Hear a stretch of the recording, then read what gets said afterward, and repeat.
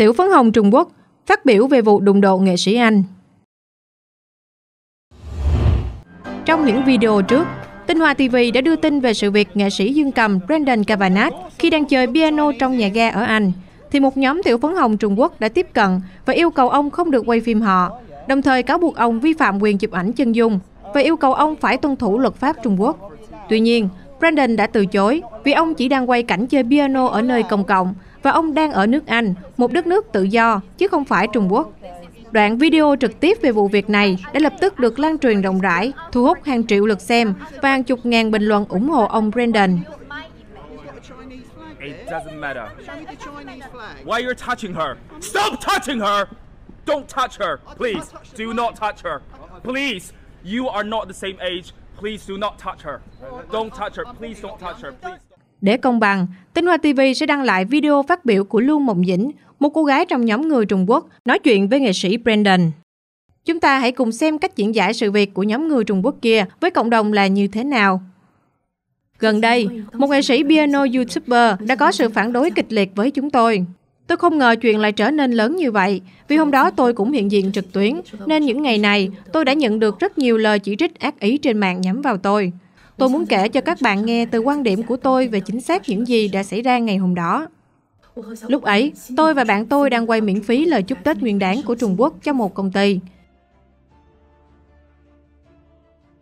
Bởi vì nội dung chúng tôi quay hôm đó là bí mật và công ty yêu cầu không được tiết lộ trước Tết, nên không ai trong chúng tôi được để lộ việc quay phim cho công chúng.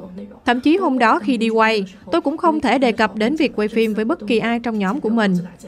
Trong lúc chờ quay, tôi không biết ông nghệ sĩ đang phát video trực tiếp lên YouTube. Bên đó không đưa ra bất kỳ lời nhắc nhở nào trước khi bắt đầu ghi hình. Ngay cả trước khi chúng tôi bắt đầu, ông ấy cũng quay phim tất cả chúng tôi bằng điện thoại di động. Vì đang quay lời chúc mừng năm mới, nên tất cả chúng tôi đều cầm lá cờ nhỏ của Trung Quốc. Rồi ông ấy hỏi, bạn đến từ Nhật Bản phải không? Chúng tôi nói không, không, tôi đến từ Trung Quốc. Nhưng nghệ sĩ đó nhất quyết nói rằng, chúng tôi là người Nhật. Ông ấy đã biết chúng tôi là người Trung Quốc, nhưng ông ấy cứ nói chúng tôi là người Nhật một cách khiêu khích. Xin chào, bạn có thể nhảy được không? Ông ấy bắt đầu khiêu khích và trêu chọc bạn tôi.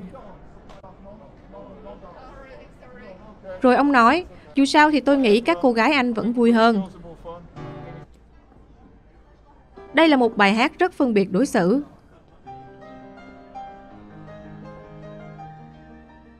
Ông ấy còn nói cờ của chúng tôi là cờ Cộng sản, bởi vì cô đang cầm cờ Cộng sản trong tay. Từ này hơi gây tranh cãi, nó không được lịch sự. Nhưng tôi nghĩ có thể ông ấy không hiểu, nên tôi không cố đôi co với ông ấy. Cảnh sát đã ngăn ông ta lại vì hành vi phân biệt chủng tộc. Chúng ta không phải ở Trung Quốc. Khi YouTuber này bắt đầu chơi piano, chúng tôi liên tục đợi hơn 40 phút và ông ấy vẫn chơi rất lâu. Tôi tưởng ông ấy chỉ ở lại một lát thôi, chơi vài bài rồi rời đi. Thông thường người ta sẽ chơi vài phút thôi, nhưng máy vẫn tiếp tục sử dụng chiếc đàn. Và sau khi rời đi, tôi mới nhận ra. Hả? Thực ra ông ấy là một YouTuber với 2 triệu người theo dõi. Chúng tôi đã đợi khoảng 40 phút. Bạn tôi bảo tôi hãy hỏi lịch sự. Chúng tôi không yêu cầu ông ấy dừng lại.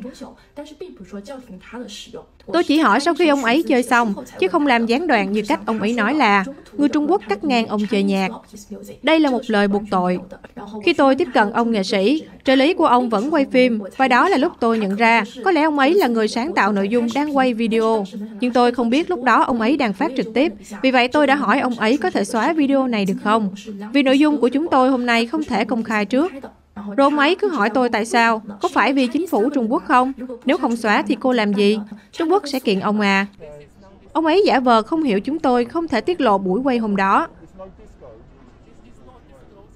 Và chúng tôi sẽ gặp rắc rối khi cố làm chuyện này ư? Ông ấy liên tục hỏi tôi, tôi thật sự không biết phải trả lời thế nào. Và khi bạn tôi nhìn thấy tình hình, có một nam và một nữ, họ đến hỏi chuyện gì đang xảy ra. Khi nói chuyện với người nữ, thì ông ấy cố giật lá cờ từ cô gái. Nhưng trong video của trợ lý ông ấy, bạn sẽ không thấy được phần đó. Họ chỉ quay phần thân trên. Bạn có thể thấy cánh tay ông ấy đang vươn về phía trước. Nhưng ở bên ngoài Trung Quốc, chúng ta cần tôn trọng lá cờ của mình như những người Hoa hải ngoại. Cần sử dụng nó một cách hợp lý và tự trọng. Không vứt nó, không làm hỏng lá cờ.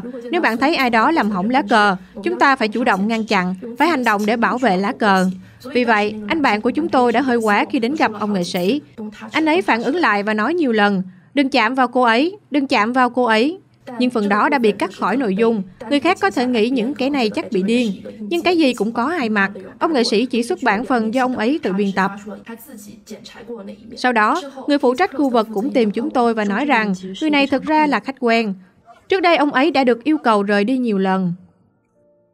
Trên thực tế, ông ấy không có bất kỳ sự cho phép nào để quay video thương mại ở đó, kiếm tiền từ YouTube. Nếu bạn sử dụng không gian công cộng cho mục đích thương mại, nếu cảnh sát gặp lại ông ta, ông ta sẽ không được phép vào nữa.